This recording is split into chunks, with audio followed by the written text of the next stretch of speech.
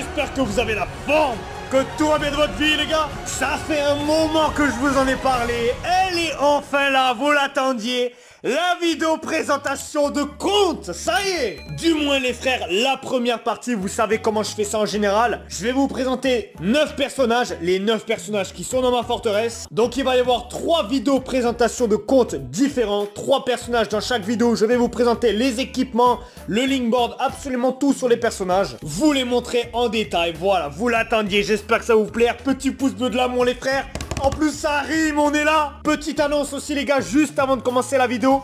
Demain, normalement si je suis un BG c'est demain, je vous sors la vidéo dont je vous parle aussi depuis un moment. Comment gagner de l'argent et au-delà de ça, parce que c'est pas le but premier de la vidéo, vous verrez bien, c'est quelque chose d'ultra utile que j'aurais aimé savoir à votre place quand j'étais jeune. Enfin, je suis toujours jeune, mais t'as capté. C'est quelque chose que toute personne à partir de 13 ans pourra faire facilement. On en parlera demain dans la vidéo, les gars. Il faut vraiment que vous voyez cette vidéo. Ça sortira demain.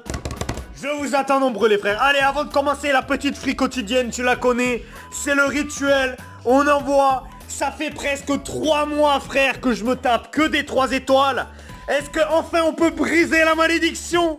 Briser le mythe Mais non, mais c'est dingue C'est incroyable mais c'est un putain de sketch Ce portail, c'est un sketch Maintenant, carrément, sur le snap de la chaîne que je vous invite à ajouter, d'ailleurs les gars, c'est en description, je vous montre toutes mes frites quotidiennes quand je les fais pas en vidéo. C'est que des 3 étoiles depuis pratiquement 3 mois, c'est insane. Bref, c'est pas grave, au moins ça me chauffe un peu, ça m'excite, là, ça m'énerve avant de vous présenter mes personnages. Je suis de bonne humeur les gars, on est gentil, je vous fais pas durer trop le suspense, on va commencer directement par un personnage qui fait remettre ma sexualité en question. Je suis généreux, la dernière fois on avait commencé c'est par la fin, par les plus faibles. D'abord, je vous présente Sasuke Final Showdown, mon personnage préféré. Personnage que vous voyez le plus d'ailleurs sur la chaîne. Alors au niveau du linkboard déjà, gros, ben, c'est la perfection, gros. C'est la perfection.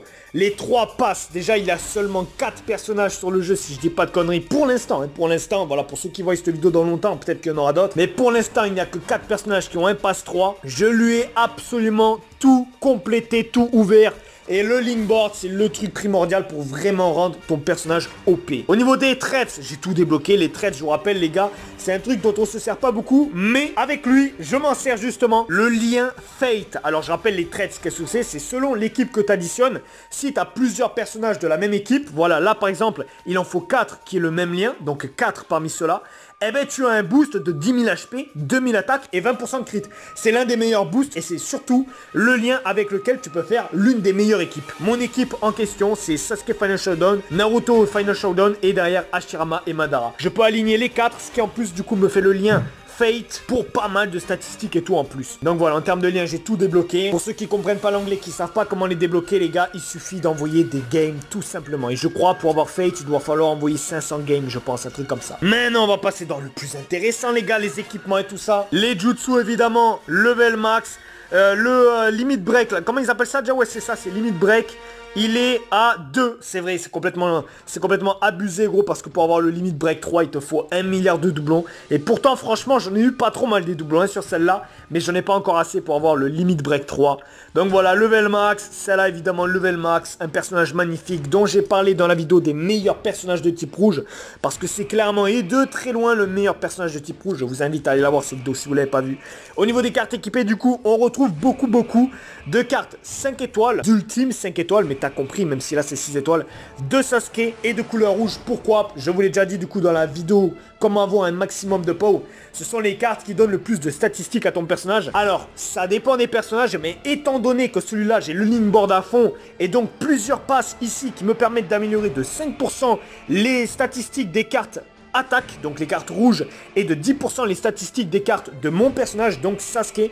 Ça fait qu'en fait, même des 5 étoiles de la couleur de mon personnage et du type de mon personnage me donnent énormément de statistiques. Donc si je l'enlève, ça me fait moins 8901. Alors que si tu as un personnage, par exemple, qui n'a pas son board avancé et que tu l'enlèves, on va prendre un personnage random pour voilà que je te fasse la description. Voilà elle par exemple. Si je lui mets une carte de Sakura, ça lui donne que 5803 parce que son lignement n'est pas avancé. Bon, c'est pas la même couleur non plus, mais t'as compris à peu près le truc. Tu vois l'écart de puissance absolument énorme. Même des cartes stats 5 étoiles rouges ne lui donnent pas autant de statistiques que ces cartes Sasuke rouges. Donc c'est vraiment ultra intéressant à lui mettre. Pour lui donner malgré tout un petit peu de bulk et beaucoup de statistiques, là on retrouve des cartes 6 étoiles de Sasuke toujours pour profiter des boosts de 20% de statistiques des cartes de sa couleur. Étant donné que c'est à la fois dans le pass 1 et le pass 2, le truc que je vous ai montré ici, ça fait un total de 20% quand même, c'est pas mal. C'est même énorme, c'est absolument pas négligeable. Du coup, pareil, là des cartes de Sasuke Clochard, donc des cartes de son personnage pour lui donner beaucoup beaucoup plus de statistiques. Et voilà. L'attaque ultime que je vous ai pas montré le level, quand même, level 13, absolument énorme. En plus, celle-là, elle va laisser les éclairs sur l'arène pendant 10 secondes. Donc en gros, il n'y a plus d'attaque ultime sur le terrain pendant 20 secondes. Vraiment excellente attaque ultime, incroyable. Vous me voyez beaucoup le jouer en PVP, il est absolument insane. Au niveau des tools, très intéressant. Parce que mon Sasuke est clairement l'un de mes meilleurs personnages. Je lui ai amélioré à 100% la résistance au scellement. Donc il est immunisé à toute attaque qui peut lui infliger le scellement. Évidemment par contre, quand il y a un parchemin au sol ou quoi qui te scelle, si tu n'es pas invincible pendant que tu es dessus, là tu te fais sceller. De plus, dans son lingboard, le pass 2 qui lui apporte l'invincibilité à la paralysie, ça fait qu'il a une invincibilité à la paralysie et au scellement quand même. Au niveau des tools, du coup, je les présente. Beaucoup d'attaques, pas mal d'HP, on a eu un beau 11 682, mais bon, c'était celui level 6 quand même. Non, c'est quand même un bon pourcentage. Des HP encore, après, j'ai pas eu beaucoup, beaucoup de choix. Les HP, c'est pas forcément le plus opti, mais j'avais pas d'autres choses. Malgré tout, j'ai eu plutôt de la chance en termes de chiffres, parce que le maximum, c'est 10 000. Et malgré tout aussi, c'est un personnage rouge. Les personnages rouges font partie de ceux qui ont le moins d'HP dans le jeu. Ce sont les avant-derniers qui ont le moins bon bulk dans le jeu. Donc malgré tout, c'est plutôt intéressant à lui de lui augmenter les HP. Euh, ce tool là spécifique au Sasuke, je pense que c'est le moins bon tool que je lui ai équipé. J'ai préféré faire ça pour équilibrer un petit peu avec mes autres personnages. J'aurais pu lui mettre un meilleur tool, mais pour essayer d'équilibrer avec d'autres personnages, j'ai préféré mettre des tools un petit peu meilleurs pour les autres. Et celui-là reste tout à fait très correct. Il apporte un petit peu d'attaque et pas mal de bulk en termes d'HP. Donc voilà, j'ai préféré lui mettre ça à lui. Celui-là, du coup, où voilà, là j'ai vraiment foncé au niveau de, euh, du scellement, les gars. Beaucoup, beaucoup de scellement. C'est celui-là en grosse majorité qui va m'apporter mes 100% de scellement. Celui-là, pour encore les HP, je vous l'ai dit tout à l'heure, ça manque un petit peu de bulk et d'HP, les personnages rouges, plus le scellement. Celui-là, exactement pareil, c'était pour le scellement. Celui-là, pour encore plus lui donner d'attaque, c'est le personnage qui tape le plus fort du jeu, les gars. C'est le seul personnage rouge, 7 étoiles du jeu. Et les personnages rouges, je vous l'ai dit des tas de fois, ce sont ceux qui tapent le plus. On rajoute un petit peu plus d'attaque avec ça pour que fasse encore plus mal. Et aussi, c'était principalement pour le scellement, pour avoir les 100% de scellement. Et le dernier tool, c'était encore je lui ai ajouté du scellement. C'est extrêmement difficile, je trouve, de farmer ces putains de trucs de scellement 4 étoiles. Donc je l'avais mis un 3 étoiles. Il est plutôt pas mal, 8,48. En tout cas, ça me suffit pour avoir 100% de résistance au scellement. Donc voilà, il est nickel. On est vraiment sur un personnage proche de la perfection, gros. Vraiment proche de la perfection. Et en plus, dites-vous bien, tout ça en free-to-play. En pay-to-win, en termes de tools et de cartes à équiper, c'est sûr tu peux faire un petit peu mieux. Tu peux avoir des cartes stats meilleures et tout. Mais en termes de free-to-play, c'est vraiment pratiquement la perfection. Il est parfait. Et après, je pourrais tricher en lui mettant un meilleur tool, par exemple, à la place de celui-là. Mais à ce moment-là, je rends plus faible un autre personnage. Et c'est pas le but, tu vois. J'essaye de faire en sorte qu'ils soient tous assez carrés. C'est sûr que si je voulais le mettre au maximum du maximum de son pot, par exemple, pour faire le BG sur la vidéo, je pourrais lui mettre d'autres choses. Mais c'est pas le but. Le but, c'est de vous présenter mes 9 personnages avec voilà, leur kit et en essayant de les équilibrer à peu près. Bon, c'était le plus long, je pense, dont on allait parler, les gars, parce que c'est l'un de mes préférés, l'un des plus importants, l'un des meilleurs, si ce n'est peut-être même mon meilleur personnage. Donc c'est vrai que c'était assez long de parler de lui. On passe bah du coup un truc un petit peu plus rapide, on va passer à Ashura. Ashura qui est le plus faible de tous les personnages que je vais vous présenter dans cette série de vidéos. Oui, ça va peut-être vous étonner parce que vous voyez qu'il y a lui devant, mais lui je ne le joue pas en fait les gars. C'est juste que je l'ai tellement amélioré sur Linkboard, et c'est vrai qu'il a encore des petits trucs équipés, qu'il apparaît encore là, mais il n'est plus dans ma forteresse. Le dernier c'est Ashura du coup qui est dans ma final room. D'ailleurs je pense dans pas trop trop longtemps, on refera une vidéo présentation de ma forteresse, les gars. Elle a pas trop mal changé. On me l'a demandé aussi, donc voilà, on fera ça. Ashura, c'est mitigé parce que c'est un excellent personnage, mais je me suis pas chauffé à lui augmenter le linkboard pour plusieurs raisons. La raison première, ultra important, les gars, d'économiser. J'ai 120 clés, il faut que j'économise pour de futurs... Parce qu'on le sait bien, les gars, dans NXB et tous les jeux comme ça, les personnages qui sortent après à l'avenir, ils sont meilleurs encore. Quand t'es free to play sur la durée, si tu veux que ton compte reste ultra intéressant, ultra fort, il faut économiser et garder ces choses-là pour rester compétitif. Donc c'est l'une des raisons déjà pour laquelle je ne l'ai pas amélioré sur Linkboard. Et surtout, c'est un personnage excellent, mais en main, j'ai ce qu'il faut, en support, j'ai ce qu'il faut, il n'y a pas besoin de lui. Le seul endroit où il est vraiment utile, c'est ma Final Room, et c'est pas forcément l'endroit le plus intéressant du jeu, tu vois, la Final Room. Donc je trouve ça absolument pas rentable, surtout en plus pour un free-to-play, de mettre des clés dans son Linkboard. Donc pour l'instant, voilà. Et il y a juste ce qui est gratuit d'améliorer. Et je ne pense pas mettre de clés sur lui. Malgré tout, je l'adore. Et je pense même peut-être, les gars, si ça vous intéresse, que je fasse une vidéo PVP où je solo des forteresses avec lui. Malgré qu'il a à peine euh, 210 000 de power et rang S. Mais ce personnage est tellement particulier et tellement excellent qu'on peut largement y arriver. Au niveau des jutsu, évidemment, le meilleur set, level max. Oh non, je l'ai pas level max celui-là. Il va falloir que je l'augmente level max. J'ai un milliard de crapauds. Mais tu vois, je pensais, tu vois, je pensais que je l'avais level max. Donc c'est parfait, on le, mettra level max, je viens de me rendre compte de ça. Il gagnera un petit peu plus de power du coup. L'attaque ultime du coup, c'est le seul truc qui n'est pas la meilleure chose, mais c'est une attaque ultime excellente qui fait largement le taf. Level max aussi, 45 secondes de recharge. Ça c'est ça qui est un petit peu plus faible par rapport à l'attaque 6 étoiles qui va prendre beaucoup moins de temps à recharger si tu l'as haut level. Mais celle-là fait clairement le taf parce qu'elle va te rendre invincible et te les HP pendant une petite période et augmenter la durée de l'invincibilité au level max. Donc vraiment elle fait le taf de ouf, hein, celle-là elle est grave intéressante. Et Ashura principalement ce qui fait sa force, c'est pas son attaque ultime, mais son set. Et son set est carré. Au niveau des cartes équipées, on a un petit peu de tout. Vu que c'est pas mon personnage le plus important, c'est pas... C'est lui en fait sur lequel j'ai mis les trucs qui allaient pas parfaitement aux autres, tu vois. Genre voilà, les 6 étoiles bleues, c'était pas des trucs parfaits pour mes autres personnages. Voilà, je lui en ai mis deux à lui, celle de Pain et de Indra. Malgré tout, il a trois cartes stats 6 étoiles vertes, donc de sa couleur qui vont lui donner beaucoup de statistiques.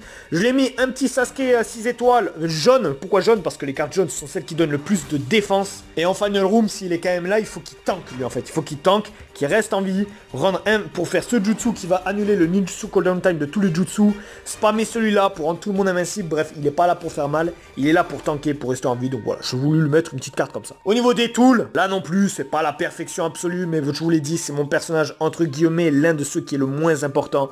Donc voilà, ça pour lui augmenter encore un petit peu la défense et les HP, ça lui donne un petit peu d'attaque au passage. Pareil, défense, HP, un petit peu d'attaque au passage. Là, ben là malheureusement j'ai pas eu beaucoup de choix les gars, j'avais plus grand chose en stock, donc je lui ai mis un truc d'HP level 5 et un truc de défense level 4. On peut faire mieux, on peut faire mieux. Et là, le petit tool de Noël qui avait eu, c'est pas au Noël dernier, c'était au Noël d'avant. C'est bizarre ce soit pas revenu au Noël dernier parce que franchement ce tool là c'est le meilleur tool de Noël franchement qui ait eu. Il donne pas mal d'attaque et pas mal de défense, voilà, c'est surtout pour ça que je l'ai mis ça. D'ailleurs je vais vous montrer les statistiques, je l'ai pas fait avec Sasuke. Voilà, c'est mon personnage avec le plus bas power. Mon personnage entre guillemets le moins utile, mais franchement quand même très important en Final Room parce qu'il n'y a pas de personnage inutile. Ashura, son rôle, c'est de rester en vie, de faire le truc qui annule le ninjutsu cooldown time et de rendre invincible l'équipe. Donc ça lui suffit largement tout ce que je lui ai mis. Et pour terminer, on va regarder un troisième personnage. Qui c'est que je vais choisir? Je sais pas, je sais pas. D'ailleurs, les gars, n'hésitez pas à me dire en commentaire qui vous aimeriez bien que je présente pour la prochaine vidéo. On va essayer de maintenir le suspense quand même, les gars.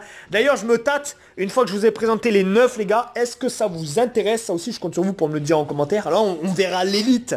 L'élite qui va arriver jusque-là à la vidéo je me tâte à vous faire une quatrième vidéo présentation de compte où en fait je vous présenterai les kits parfaits des personnages que j'ai. Genre voilà, par exemple celui-là, lui j'ai tous ses jutsu, vous avez vu que j'ai son attaque ultime, voilà, Indra c'est pareil. Est-ce que vous voulez, dans la quatrième vidéo présentation de compte, que je fasse ça en fait, je vous présente tous les meilleurs kits de tous les gros personnages que j'ai. Juste les gros, on s'en fout des personnages genre Sakura Walp ou quoi, tu vois. Il y a moyen que je fasse ça aussi. Pour terminer les gars, je suis gentil, on part sur un gros morceau. Hashirama, l'un de mes personnages préférés lui aussi. Je, je, sais pas, je peux pas les départager gros avec Sasuke parce que lui aussi, il est tellement incroyable. Je veux pas vous spoil pour la vidéo top des meilleurs personnages qui arrivera relativement bientôt mais il va être très très haut celui-là les gars il est incroyable ce personnage donc au niveau du linkboard eh, j'étais obligé gros J'étais obligé, pour un personnage tel que lui, j'étais obligé de tout compléter. Ce qui permet du coup d'accéder à l'invincibilité au scellement. Il est magnifique, il fait remettre ma sexualité en question. Il a tous les traits du coup, hein, comme je vous l'ai dit, il fait partie du truc là pour avoir Fate, qui donne pas mal de statistiques à la team. Voyons voir un petit peu son équipement et tout. Ah, parce que lui, c'est du très très très très lourd, les gars. Là aussi, en free-to-play, tu peux difficilement faire mieux. Donc au niveau du set, le meilleur set possible, level max. Attaque ultime, level 4, ça me va pour son rôle, c'est suffisant. C'est vrai que je pourrais peut-être lui augmenter un petit peu le level. J'ai pas mal de crapauds de côté, mais là aussi les gars, comme je vous ai dit tout à l'heure, c'est pareil que pour les clés. Les crapauds, je les garde de côté pour de futurs personnages. Hashirama, ça, Ça, les cartes comme ça, c'est proche de la perfection. Tu peux difficilement faire mieux, c'est ce qui donne le plus de statistiques. C'est de sa couleur, c'est de son personnage et c'est des 6 étoiles. Je crois que c'est la 6 étoiles du jeu que j'ai le plus droppé. c'était historique les 2,5 ans, ces vidéos invocation là, c'était incroyable. Donc il en a quand même 6 d'équipés, ce qui lui donne 13 422 de statistiques chacune. Il a un set ultra complet et des statistiques de port qui vont avec. Carte stats 6 étoiles ici de sa couleur. Euh, carte comme ça, du coup c'est la moins intéressante qu'il a d'équiper. Malgré tout, vu qu'il a son board à fond, et elle est où la carte? Elle lui donne énormément de statistiques, voilà, 8702, pratiquement autant quand même qu'une 6 étoiles, t'imagines, de sa couleur. Donc voilà, il n'y a pas grand chose de plus à montrer au niveau de ses cartes équipées, voilà, c'est proche de la perfection, gros. Full carte de sa couleur pour qui tank à fond. Au niveau des cartes équipées, c'est beaucoup de la tankiness, hein, vu que c'est des cartes de sa couleur. Et vous allez voir qu'au niveau des tools, je l'ai beaucoup plus amélioré ce qui est attaque. Déjà, son tool spécifique, là, je lui avais mis le truc 6 étoiles d'attaque. On a eu 1402, c'est très très bien. Encore de l'attaque ici. Vous savez bien que les personnages jaunes, c'est leur point faible, l'attaque. Malheureusement, ils font pas beaucoup de dégâts. Ce tool-là, je lui ai mis des trucs un petit peu plus random, on va dire. C'est vrai qu'à l'époque, j'avais pas beaucoup de choix. Ça pourrait être mieux aujourd'hui déjà, tu vois ça? Ça sert à rien, à moins que vraiment j'essaye de taffer le 100% de résistance à la paralysie, ce qui est possible, ça peut m'être utile. Sinon je vais l'enlever et mettre autre chose, parce que là ça sert à rien actuellement. Un petit peu de résistance, ça c'est pas parfait de ce niveau-là.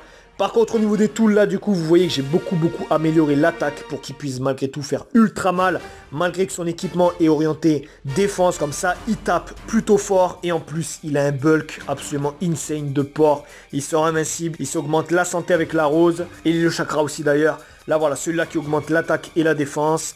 Et le dernier, là aussi, c'est comme Sasuke, j'aurais pu lui mettre un tool meilleur encore pour qu'il soit plus fort, mais comme je vous l'ai dit, j'essaye un petit peu d'équilibrer les personnages. Donc là, on a un tool un petit peu moins intéressant, mais qui lui apporte encore du bulk. Je me rappelle celui-là, c'est parce que c'est une de mes faux qui rapporte le plus d'attaque, c'est pour ça que je l'ai mis cette faux aussi. Voilà, voilà. En termes de statistiques, on en est là. Énormément de défense, beaucoup d'attaques pour un personnage jaune. Les personnages jaunes qui sont les personnages du jeu qui ont le moins d'attaques. Euh, je sais plus si c'est eux ou les personnages verts qui ont le moins d'attaques. Il me semble que c'est eux les personnages qui ont le moins d'attaques. Voilà, voilà, un personnage magnifique avec un set excellent. Et eh, franchement, sans avoir fait exprès, j'ai quand même 31% de résistance à la paralysie. Il y a moyen de taffer la paralysie. Mais là aussi, je manque de trucs qui permettent d'améliorer la paralysie sur les tools. Donc c'est difficile. Voilà pour moi Hashirama, les gars, le troisième meilleur personnage en termes de power et euh, l'un de mes meilleurs personnages très clairement. On a terminé cette première vidéo présentation de compte les frères, j'espère que ça vous aura plu, que ça vous aide un petit peu de voir quelle touche j'équipe, quel équipement j'équipe. J'ai essayé de bien vous expliquer tout ça, je pense que c'était carré, que j'ai été bon, si j'ai été bon les gars, ben pouce bleu de l'amour. On se retrouve demain pour la vidéo.